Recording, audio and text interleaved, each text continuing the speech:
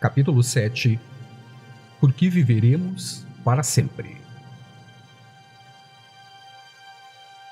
Há milhares de anos, Jó perguntou: Se um homem morre, viverá outra vez? Deus é vida e a vida não pode morrer. A vida não pode morrer. A vida não tem princípio nem fim. Toda pessoa que caminha por esta terra é Deus ou vida em manifestação. O nosso corpo é um instrumento ou veículo através do qual se expressa o princípio vida. Você sempre terá um corpo de alguma espécie, seja qual for a dimensão da vida em que funcione. A chamada morte não é o fim, é apenas um começo.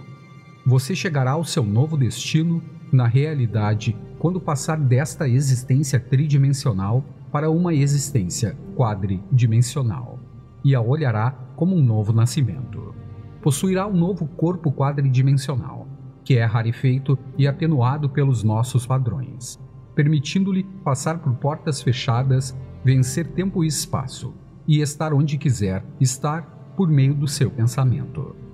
Milton disse: A morte é a chave de ouro que abre o palácio da eternidade. A jornada de cada homem é de esplendor em esplendor, de oitava em oitava, e através das muitas moradas da casa do nosso Pai.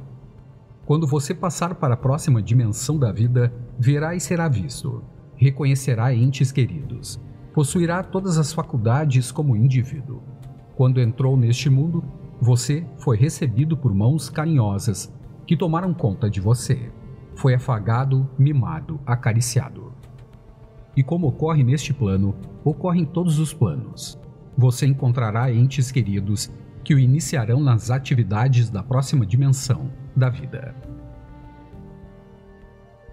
A vida é progressão. Sua vida é um desdobrar interminável, sempre para frente, para cima e para Deus. Não podemos voltar atrás, pois o ímpeto da vida é progressão, expansão e crescimento. Deus é vida infinita. Esta vida está em nós agora. Consequentemente, não há fim para sua novidade, liberdade e consciência espiritual. Nunca em toda a eternidade poderíamos exaurir as maravilhas e esplendores que estão dentro de nós. No capítulo 15 do primeiro livro dos Coríntios, Paulo diz: E há corpos celestes e corpos terrestres. Mas uma é a glória dos celestes e outra a dos terrestres. E assim como trouxemos a imagem do terreno, assim traremos também a imagem do celestial. Vivemos para sempre. Na citação bíblica acima mencionada, Paulo diz que realmente não há morte e que todos os homens e mulheres são imortais.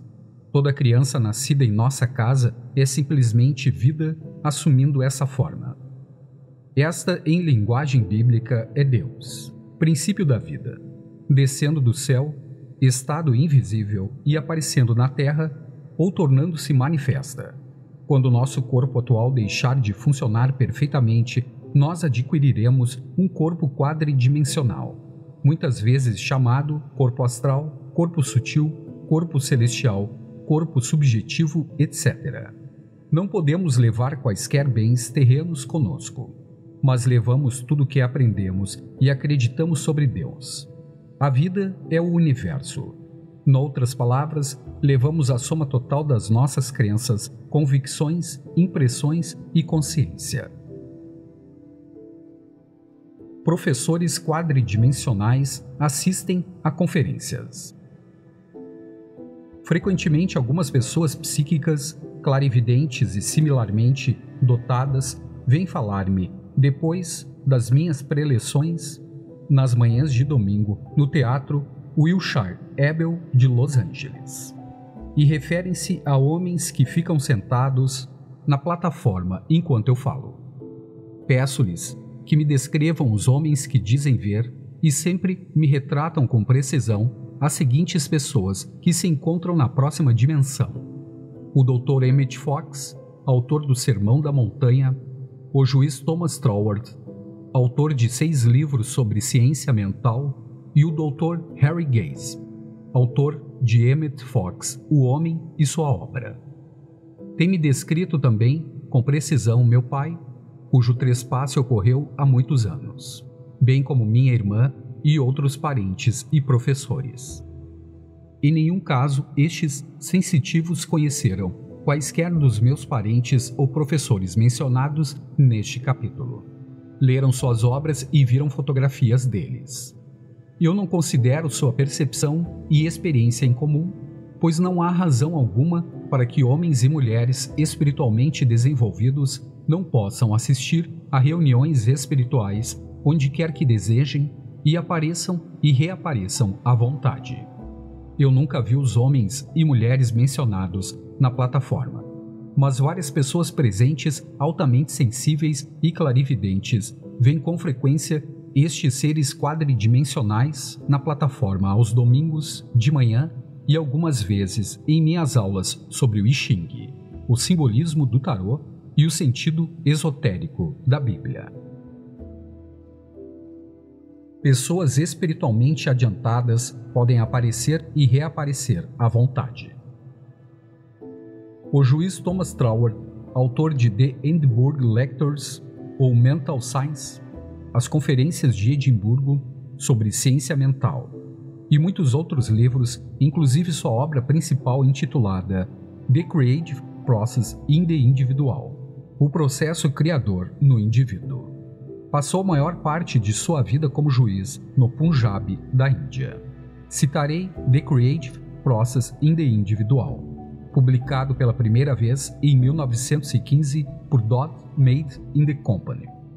O seguinte: a manifestação é o desenvolvimento procedente do princípio, isto é, alguma forma na qual o princípio se torna ativo.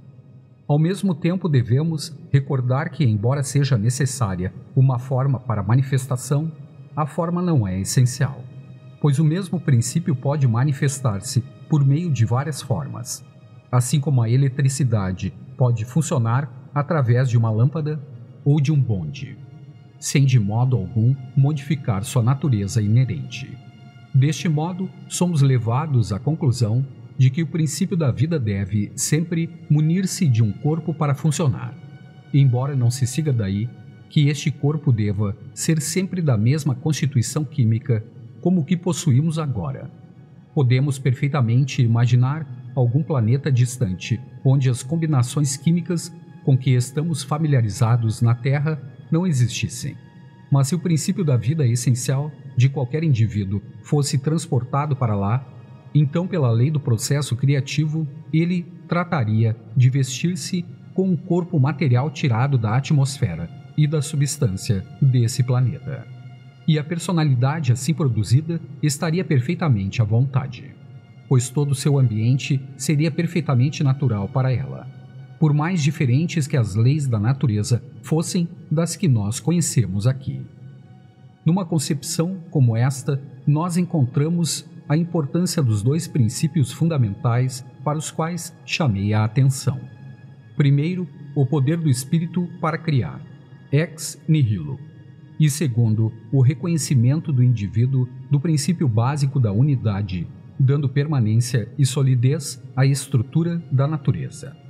Pelo primeiro, o princípio da vida que se reconhece a si mesmo poderia produzir qualquer espécie de corpo que quisesse. E pelo último, seria levado a projetar um corpo em harmonia com a ordem natural desse planeta, tornando assim todos os fatos dessa ordem sólidas realidades para o indivíduo. E ele mesmo um ser sólido e natural para os outros habitantes desse mundo mas isto não eliminaria o conhecimento do indivíduo de como chegou lá. E assim, supondo que ele tivesse compreendido sua identidade com o princípio da vida universal o bastante para conscientemente controlar a projeção do seu próprio corpo, ele poderia à vontade desintegrar o corpo que se harmonizasse com as condições de um planeta e constituir um que se harmonizasse com as condições de outro e poderia assim funcionar em qualquer número de planetas como um ser perfeitamente natural em cada um deles. Ele se pareceria, em todos os sentidos, com os outros habitantes, com uma exceção importantíssima: a exceção de que, tendo atingido a unidade com o seu princípio criador, não estaria preso, como os outros, às leis da matéria. Pelos parágrafos acima, concluímos que o indivíduo que esteja altamente adiantado espiritualmente e que sinta sua unidade com o princípio da vida universal pode projetar-se para qualquer país ou mesmo para outros planetas a seu bel prazer. E o princípio da vida, que é onisciente e que é a única causa e substância, pode projetar um corpo em harmonia com a densidade da pressão atmosférica do planeta em questão. Noutras palavras, ele pode aparecer e reaparecer à vontade. Por exemplo, se derretemos gelo, obteremos água. Se continuarmos aquecendo a água, obteremos vapor que pode ser invisível. Mas vapor, água e gelo são uma única coisa vibrando em diferentes comprimentos de onda molecular. Da mesma forma, nós somos espírito, mente e corpo. Eles são uma coisa só, mas cada um tem uma função diferente. Não há nada de ilógico no indivíduo espiritualmente desenvolvido que viva, digamos, na cidade de Nova York e desejando estar em Joanesburgo, encontrar-se nesta cidade instantaneamente. Ele é um ser mental e espiritual e sabe que a mente e o espírito são onipresentes e que quando ele se fixa num certo local e decreta que está lá, automaticamente desmaterializa o seu corpo, que é composto de átomos e moléculas que agora são invisíveis como o vapor que mencionamos. Depois ele condensa a alta vibração no corpo tridimensional e aparece caminhando pelas ruas de Joanesburgo. Este tipo de homem também poderia ir para a próxima dimensão a seu bel prazer bem como para outros planetas, e voltar quando bem o desejasse. Um homem moribundo fala a seu pai, sua mãe e seu filho na próxima dimensão. Recentemente visitei um homem que estava morrendo de câncer e a metástase tinha-se-lhe espalhado por todo o corpo. Conversou comigo sobre várias coisas e oramos juntos. Ele estava perfeitamente racional e começou a falar com seu pai e sua mãe, que tinham deixado este mundo muitos anos antes. Disse ele: Estão aqui e eu vou com eles. Depois acrescentou: Estou vendo John. Eu não sabia que John estava lá. Tampouco sua esposa, que se encontrava presente, sabia da presença de John. Mas uma semana depois, ela recebeu uma carta da Índia onde John, o filho deles, se encontrava em serviço. John havia falecido mais ou menos na mesma hora em que o pai falava comigo. Os seus entes queridos que partiram estão bem onde você está. Os seus parentes ditos falecidos estão em redor de você, e você deve parar de acreditar que estão mortos e enterrados. Eles estão vivos com a vida de Deus e separados de nós apenas pela frequência. Nós não vemos os raios cósmicos, os raios gama, os raios beta, os raios alfa, os raios ultravioleta ou os raios infravermelhos. Os nossos olhos físicos são cegos para a grande realidade invisível que existe em volta de nós. Você veria um mundo diferente se começasse a ver pelo olho interior da clarividência e, analogamente, que mundo vastamente diferente você veria se fosse tão sensível como a máquina de raio-x ou os raios infravermelhos. Você pode dizer a este autor que não há ninguém no seu quarto enquanto lê este capítulo.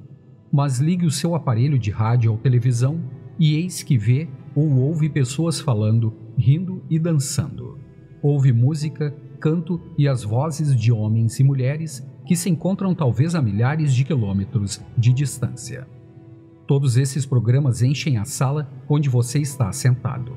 O homem é ele mesmo uma estação transmissora e receptora. Por isso é que pôde inventar um aparelho de rádio e de televisão.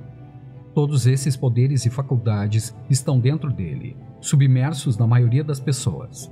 Mas perfeitamente ativos em outros que caminham pelas ruas da sua própria cidade.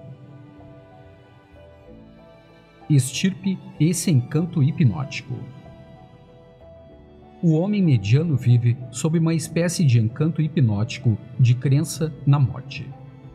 Mas quando abrir os olhos espirituais e deixar cair as escamas das falsas crenças acumuladas durante séculos, ele compreenderá que tem uma existência além do tempo e do espaço como nós os conhecemos, e verá e sentirá a presença daqueles a quem chamamos mortos. Tenho estado à cabeceira de muitos homens e mulheres durante o seu trespasse. Não mostravam sinais de medo. Instintivamente intuitivamente, eles sentem que estão entrando numa dimensão maior da vida. Thomas Edison foi ouvido dizer ao médico antes de morrer: É muito bonito acolá. Todos nós temos uma melancolia natural em relação ao estado dos nossos entes queridos depois que deixam este plano da vida. Devemos compreender que com a aurora nos sorrirão os rostos felizes que amamos desde muito tempo e que perdemos por um pouco. O que dizem os poetas sobre a próxima dimensão da vida? Tennyson disse: Tu não nos deixará no pó. Tu fizeste o homem, ele não sabe por quê. Ele pensa que não foi feito para morrer. E tu o fizeste. Tu és justo. Wordsworth disse: O nosso nascimento é apenas um sono e um esquecimento a alma que nasce conosco, a estrela da nossa vida. Teve alhures o seu ocaso, e vem de longe, não em total esquecimento, nem em completa nudez. Mas arrastando atrás de nós nuvens de esplendor, vimos de Deus que é a nossa moradia.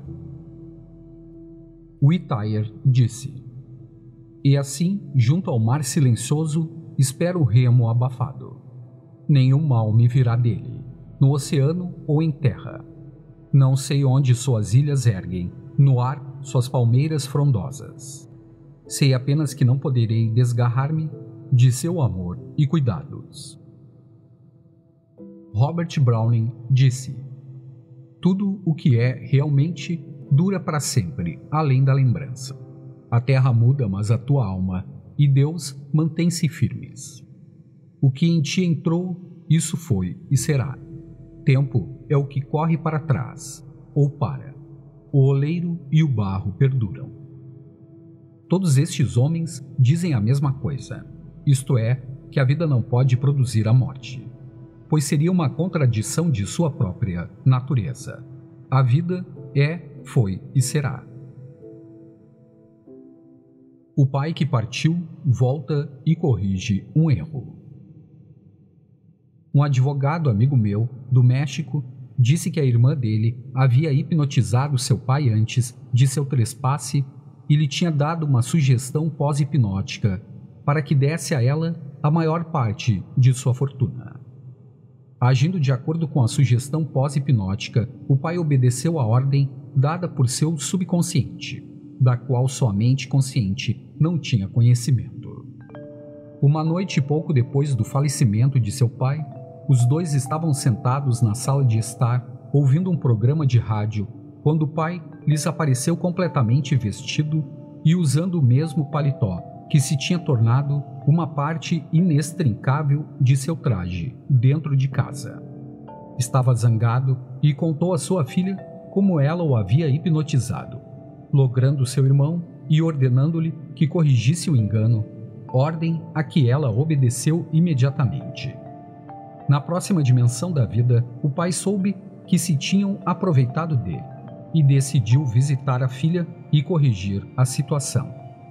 Sem dúvida, o intenso desejo que teve de corrigir o erro carregou seu subconsciente com intensidade suficiente para precipitar sua personalidade na sala de estar dos filhos. Não foi um fantasma, uma alucinação estranha ou uma forma de pensamento mas a personalidade total do pai, que possuía todas as suas faculdades e pôde falar e instruir sua filha sobre justiça e integridade. um livro científico maravilhoso, muito informativo sobre matéria do gênero acima, é Phantoms of the Living Fantasmas dos Vivos, de Edmund Gurney e Frederick Myers of Cambridge, publicado pela Sociedade de Pesquisa Psíquica de Londres. Como dar o óleo da alegria como luto. Você nunca deve chorar ou vestir luto pelos entes queridos que partiram. Irradie as qualidades de amor, paz e alegria para o amigo ou parente que passou a uma dimensão maior da vida. Eleve-o na sua mente e no seu coração e regozije-se com seu novo nascimento, sabendo que o amor divino e a vida divina estão onde ele está. Compreenda que os entes queridos que deixaram este mundo estão morando num estado de beleza, paz e harmonia. Você fará felizes os entes queridos com essa atitude de espírito. Em vez de sentir que estão mortos e enterrados e que estão onde estão suas sepulturas, sinta que a sabedoria, a inteligência e o amor de Deus estão fluindo através deles em transcendente delícia. Toda vez que pensar num parente ou amigo que partiu, abençoe-o silenciosamente, afirmando: Deus o ama e zela por ele. Essa atitude de espírito curará toda dor sua e dos outros. Entrando numa vibração mais alta. Não há ninguém enterrado em parte alguma, no solo ou no mar distante. O corpo é enterrado e sofre dissolução, voltando aos seus elementos primordiais. Os pensadores modernos, atualizados, nunca visitam sepulturas, pois não há ninguém lá. Identificar-se com o corpo numa sepultura e colocar flores numa sepultura é identificar-se com a limitação e a finalidade que traz doença e todas as espécies de perda à pessoa que se entrega a esse costume. No funeral moderno não há corpo à vista, e os parentes reúnem-se para orar e meditar, comemorando o novo nascimento do ente querido em Deus que marcha para frente, para cima e para Deus. Pontos que convém recordar. 1. Um, Deus é vida, e essa é a sua vida agora. O princípio da vida não tem começo nem fim.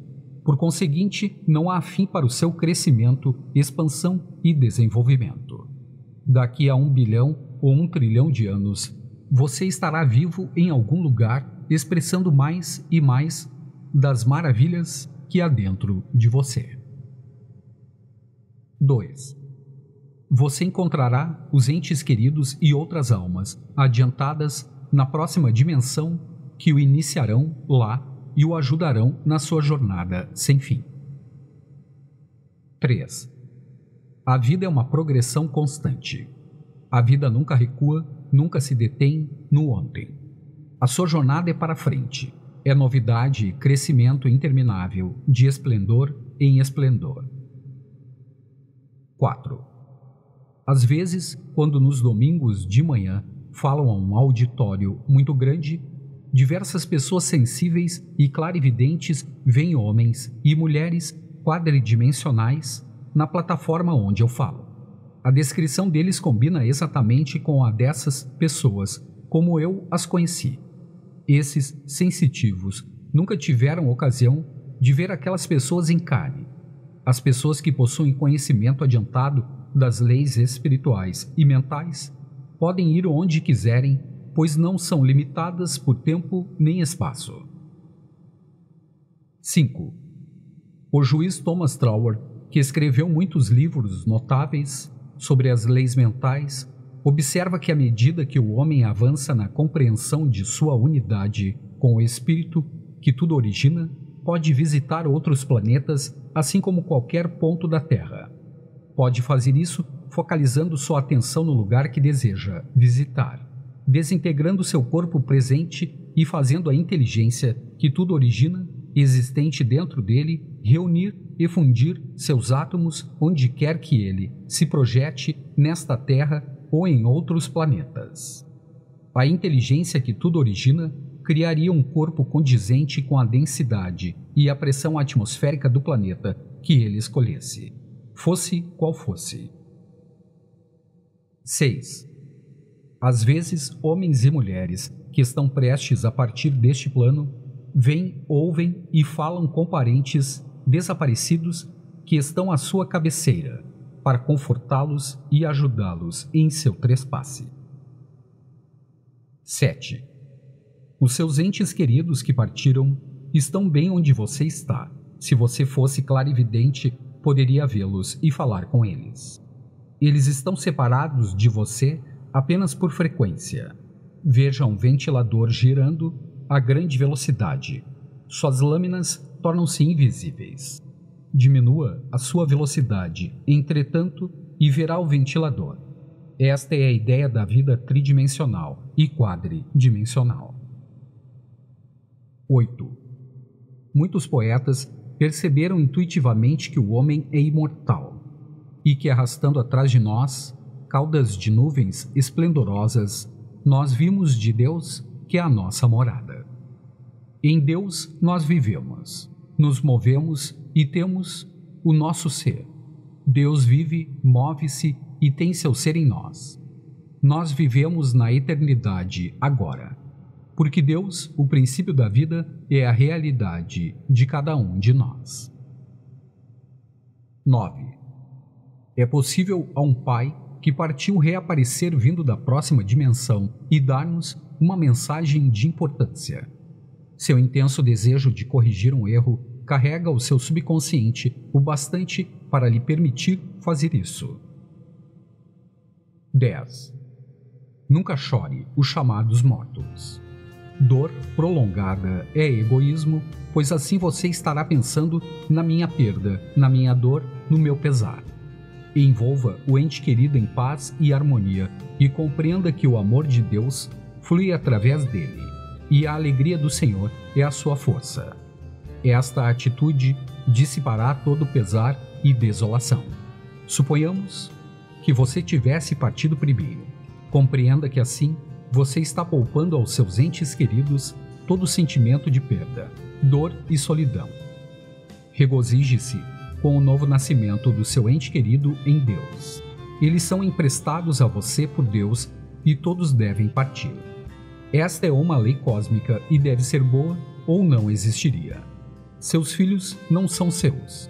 Eles vêm de Deus através de você, não por você. A criança que viveu uma hora aqui ou que nasceu morta, ainda vive e é um ornamento na grandiosa sinfonia de toda a criação. 11.